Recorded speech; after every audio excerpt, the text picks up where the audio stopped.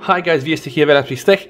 This time I'm gonna show you guys how you can install the blood pressure and the ECG on your beloved Samsung Galaxy Watch Active 2 and of course also the Watch 3. And why this actually is new, because you know I did already a video like this, why this is new, because I'm running here the latest Tizen. And we all know that there's been a problem, so I'm just gonna show you guys, if I go here to software info, we can see that the Tizen version here is 5501 and we all know that it didn't really run too well like almost actually nothing. And you had to go and download and change and put here a South Korean firmware. And then you had a problem with Samsung Pay. Now I have Samsung Pay working. I have also here the blood pressure. Just gonna show you guys. So hit measure. You hit OK. It will start working. I also have here the ECG okay when you hit the ECG and you just hold it like this rest your finger lightly on the top of the watch it's gonna start working. And I do also have like if I just hold the button here you see Samsung Pay is of course starting to work. And of course the best thing about this is when I go here into the Samsung Health application you know we can see we have the blood pressure readings we have the ECG so all of that right now works into this latest Tizen. I'm thinking I'm using the US firmware and I'm also using the guide here that is shown on the XDA forum. I'm gonna simplify this a bit guys and show you the process all the steps that you need to do. I'm not gonna redo it and reinstall it on my watch because I don't want to get my readings erased or something like that but I'm just going to give you like some nice direction and I'm going to put also all the files that you need to download into one very big pack so that you can download it easily from the internet. So you need Java for Windows offline 64-bit you need the Java SE Oracle JDK right you need to just go there and click but don't do this because I'm gonna give you guys everything into one big zip file and it's gonna be here in the video description in the link below.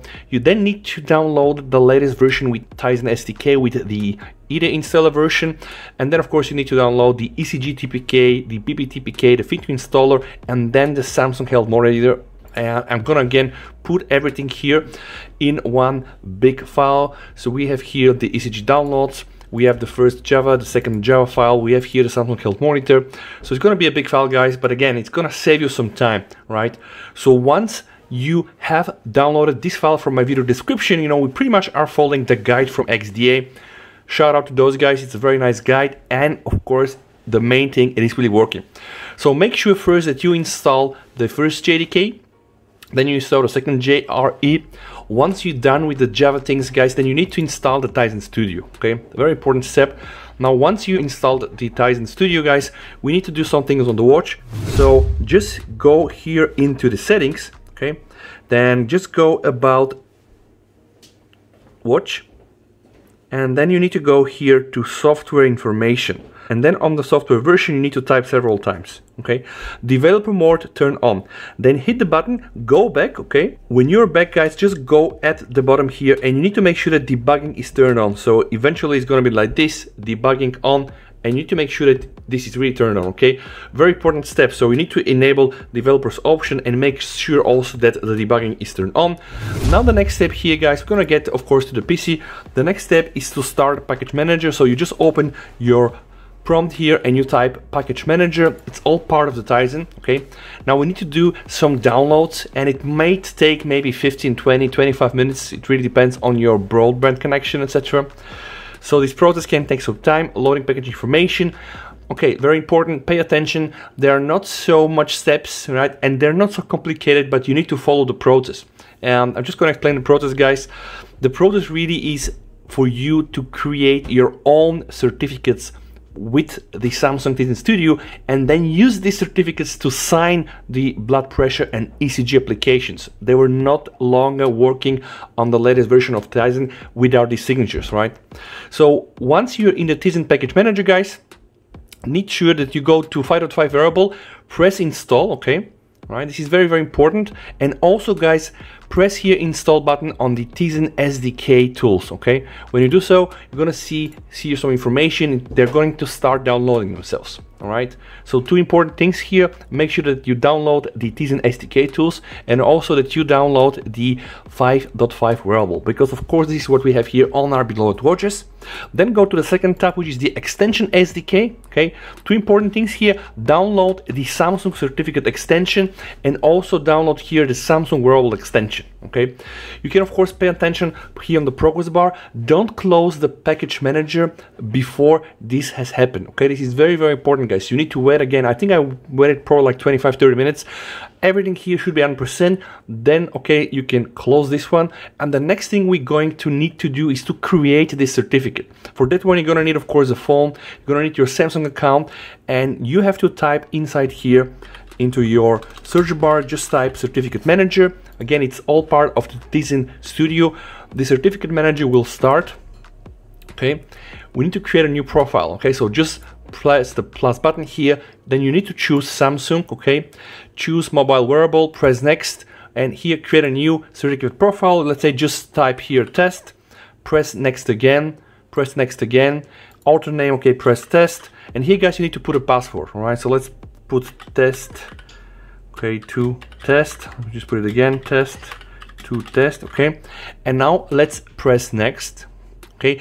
And this is a very important step guys. You need to sign in into your samsung account. So press ok here right? You cannot skip this step guys. You need to do so. I'm about to sign in with my account okay very important right now guys. You see congratulations. Your new author certificate is located and it's actually here in c users your username samsung certificate and then into the test folder. Now very important just press next okay? Choose create a new distributor certificate. Don't do anything. Press next again. And here guys here we need to stop right? Don't do anything. Stop and now you need to go back here and you need to type device manager, right? But not the Windows one, the one from the Tizen. Because right now we need to connect to our watch and I'll show you guys what you need to do. Okay, right now we are into the device manager. So you need to go here and here actually is the remote device manager and you need to go here for any connection. Okay, you can press here that one and then add it manually. The IP address from your watch, you can take it here from the connections. So apparently if you go here, okay, let me just show it. I'm gonna do it with you guys we're gonna go into the connections okay? Then we're gonna go to Wi-Fi. You need to also make sure that the Wi-Fi is always on okay? Now once the watch is connected to the Wi-Fi guys I'm gonna let you know how you can see the IP address. Okay finding IP address. Now my watch is connecting to my Wi-Fi network okay? So once I'm there hit here the Wi-Fi network okay and then you just scroll down and you see this IP address okay? And here you'll be able to just add the IP address and then just the port is the same. And once you have this right now okay you can just do like this and then apparently you should be able to see a message on your watch okay? You see? Can we allow this connection from the PC etc in the guide they're saying that you need a Wi-Fi connection but my PC is running on a cable connection. It still does the work okay? So right now I have the Tizen device manager connected to my watch and you can see by all this happening down below. Alright guys, and now a very important trick. Once you have this connection with your watch, you can see here you have the wearable, you have the device name, you have the port and also the IP, but then you can also see when you go back to the creation of the certificate, you're gonna see here that there is a UID code, right? It's absolutely unique, right? So it's absolutely there. Don't do anything, just press next here, okay? Press next, wait a bit, and now actually the Samsung Tizen software certificate creation will create your new certificate. Okay, so you can see where your certificate is, is located, press finish, your new certificate profile has been successfully created. This certificate profile has been set as active. Okay, very nice. And now you can see you get this very nice window with some official information. It's verified by the Samsung Author Certificate Authority class. So absolutely legit. And now we need to do one thing, guys. You need to go to the folder that I actually showed you. All the files are there. Inside, there's gonna be something called ECG downloads. So this ECG downloads, guys, you just need to extract it, right? So just extract it to the folder. And inside you're gonna see we have the blood pressure TPK, we have the ECG TPK, and we have the Fit2 installer. Take the Fit2 installer guys and put it onto the desktop. So you should have like your desktop and then this Fit2 installer folder okay? Now open a new prompt okay and now navigate to the path where the samsung certificate has been created. In my case is C drive, is users, is my username, and then we see a folder called Samsung certificate. Inside there is a folder called test and inside are all my certificates. Just select all of them, Control C, copy them, go back to the desktop and the fit installer folder into the cert folder and paste them there. Okay, very, very important. Now guys, the second step here again, go back to the previous folder that I show you, right? That I actually uploaded for you guys. Just take both BP and ECG, Control C, and then you need to put them here into sign me, okay? Now those apps right now are not signed.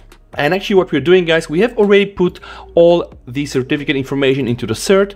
We put the apps that we need to be signed with our certificate into the sign me folder. And now guys, what we're gonna do actually is just run the sign bet. Okay, you see, I'm just entering the sign bet and right now here you should put the password for your certificate that we used when we created our certificate. This is my password. Okay you see setting configuration is succeeded and etc and etc the first bpk tpk is created successfully. The ECG tpk is created successfully. Then press any key to continue. Boom press enter. And now we're gonna go back into the desktop where we have the thing to install a folder. And into the install me you're gonna see these two tpks that are signed. Now very important guys how will those tpks go on your phone very easy. You just go back here to the device manager right? You're gonna open the device manager. You're gonna hit the right button here right mouse button on the device install app and you're gonna navigate here to these two applications from the folder install me and just select them one by one and install them on the watch right? It's as simple as that guys. Okay and there is something else very important i wanted to share with you actually the BPK TPK that was included here did not really work for me. So I had to do some reading and I eventually found a workaround. There is a person on XDA who apparently was changing something into the BPK TPK into the XML inside that kind of allows the BPK TPK to be installed, right? So I'm just gonna give you guys the modified working blood pressure that works on the Tizen 5.5.0.1, right? So we're gonna have it all from me. Once these two applications, guys, are gonna be on your watch, you're gonna be seeing them here as new applications, right? And then only one last step, guys. There is something called the Samsung Health Monitor. Latest version is 175. It's created by Atri. I'm gonna give you also this APK. Make sure that you bring this APK to your phone, install it, and then it's going to be very very easy guys. So you know you just need to run it. You just need to then calibrate your blood pressure. And you know just doing this together with the phone and with the watch. And it's going to be as simple as that. Once you have the BPK that is fixed once you have assigned the BPK once you have signed the ECG it's going to be very very easy for you to install the signed BP TPK and the signed ECG TPK from the device manager guys. Just by doing that and enjoy really the full power now of the Samsung Galaxy ActiveWatch 2 with the latest Tizen of course.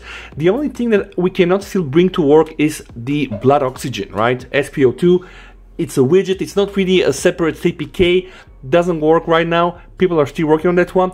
If you have any questions about the process, guys, just hit me up directly into the comments. If I can help you, I will do this, right? I'm not letting down my viewers, guys. I'm putting this guide because been a bit complicated. And actually there is also like a bit of an extended guide inside right? So if you look in the XDA there is an even more full guide. I think this full guide is here is created by XXSD. It's really all these steps and I just wanted to make this video guys to show you what you need to do. Again, it's not very complex, right? You need to remember first to download all the files that I'm gonna put into a link for you. Install the two Java files, install the Tizen with everything you need to do. Make sure that then you start to create your certificate.